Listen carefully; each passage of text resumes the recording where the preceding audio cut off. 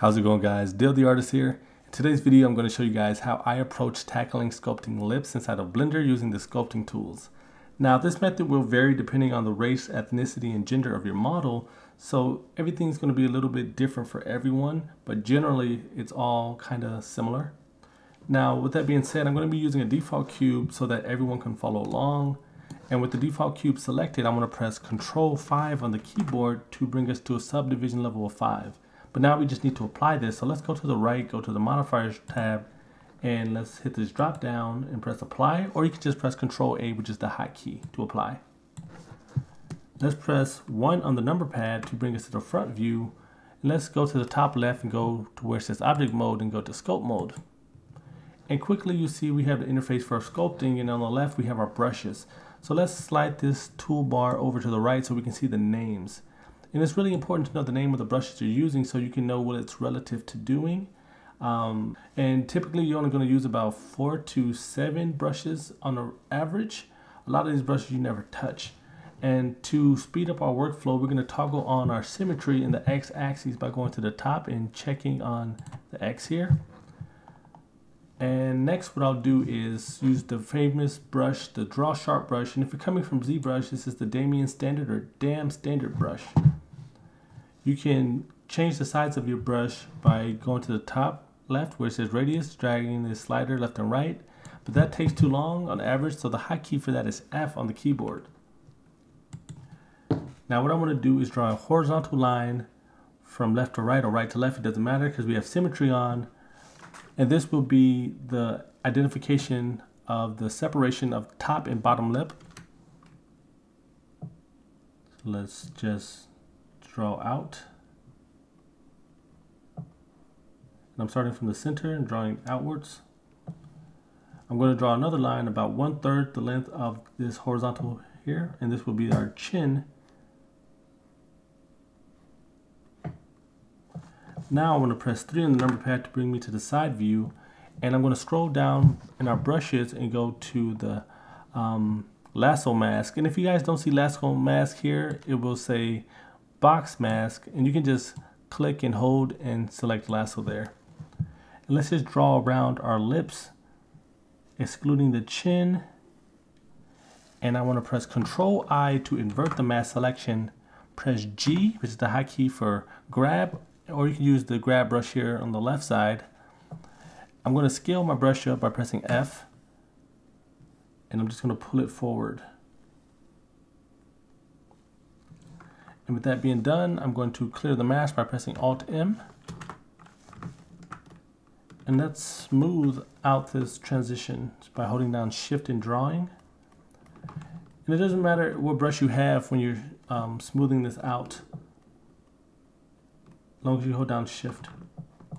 And now we need to add more resolution to this. So we'll press shift R to bring up our voxel size and we'll slide it to the right and go to somewhere about 0.2 or 0.1 and press control R to confirm and apply that. And what I want to do is hold shift and draw so we can smooth this out. Once again,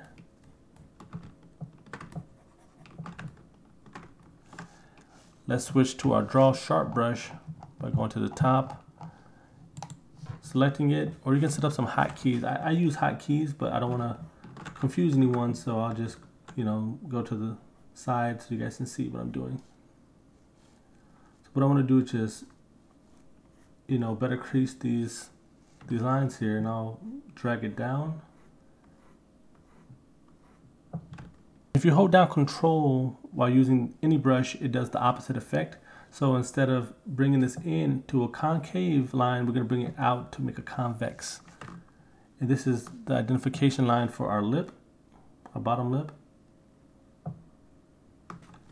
And we'll do the same for the top. We'll hold down control and start to shape our top lip.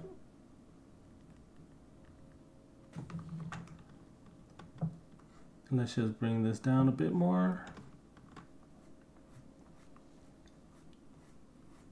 Capitalizing on this line here. Let's also work on the chin area as well. So let's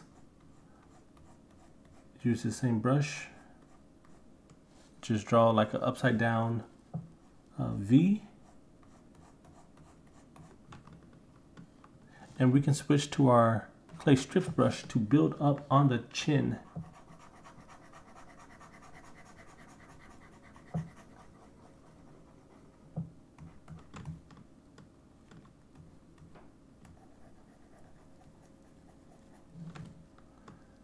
Let's use our draw brush here on the top.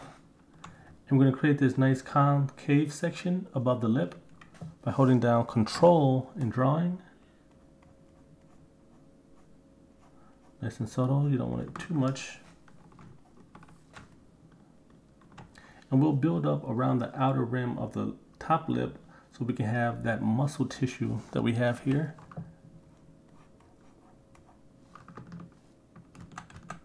And I do want to switch to the clay strips brush to do that. The clay strips is the build-up brush. So we'll just build up this section here just slightly.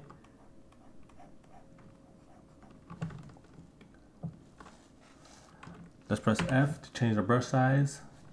Press G to go to the grab brush and we'll just form this to look more like a head shape. We'll bring this top lip out a bit more, right above it.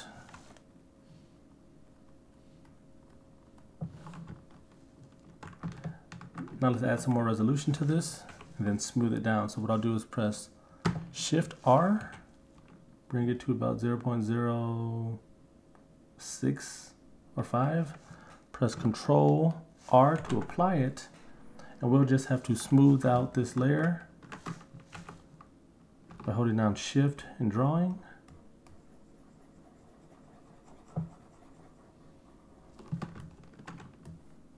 Smooth out everything.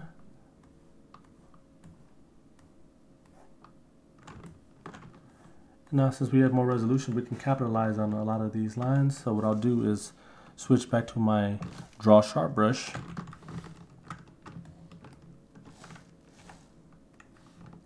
Hold down control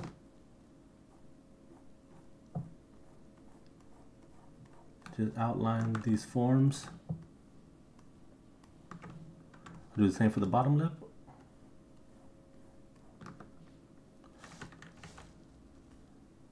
And I'll let go control so we can just have the draw sharp brush at regularly, change the brush size so we can create finer lines. Just bringing this down here.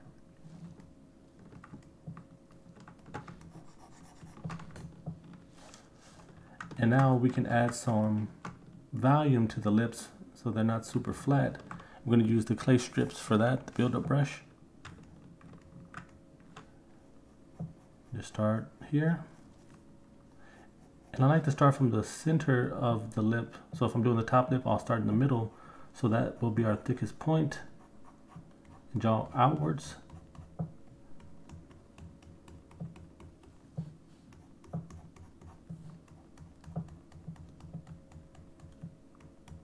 We do the same for the bottom lip. So from the middle,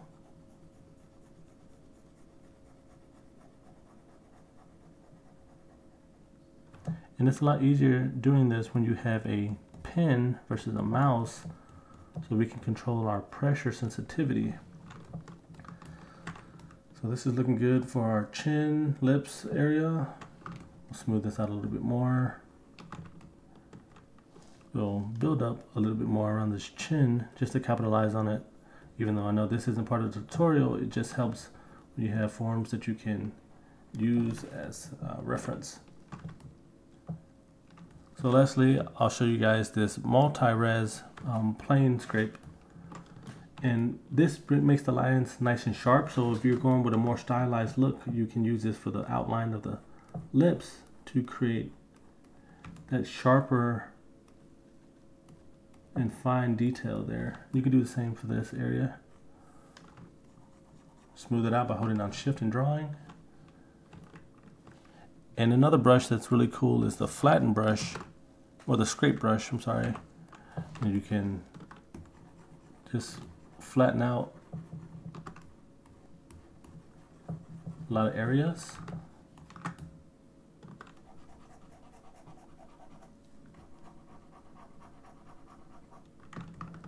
And then you can smooth it out.